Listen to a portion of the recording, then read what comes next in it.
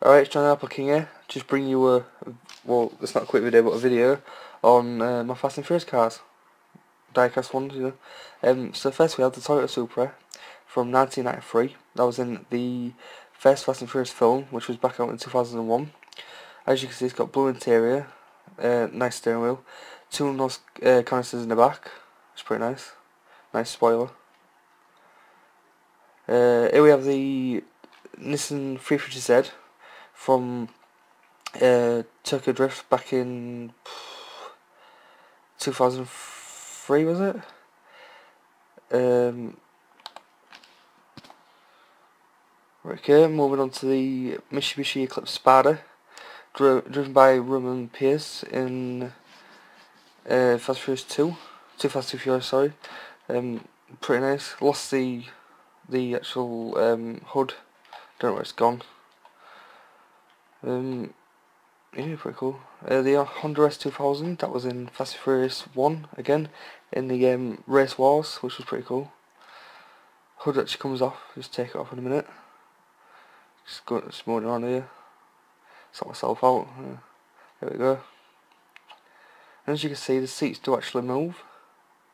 And I see some look leather, well they're not really, but you know, look it. Uh, NOS canister in the back, that's about it, that one. Uh, the Dodge Charger 1970 RT owned by Dom Toretto which is pretty cool. That is a massive engine. I love it, it looks it looks great that. Uh, really nice inside L looks real. It does. Really amazing. Um, yeah, the back's nice as well. Really good scale replicas. Really nice. Here we have the Mitsubishi um, Evo from Too Fast Too Furious, driven by Brian O'Conner. Um, it's got everything in it, like the uh, GPS and everything, NOS, buttons, everything.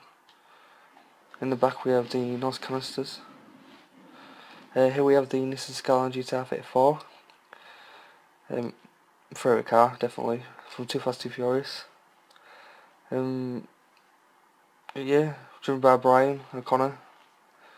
Three nice canisters in front.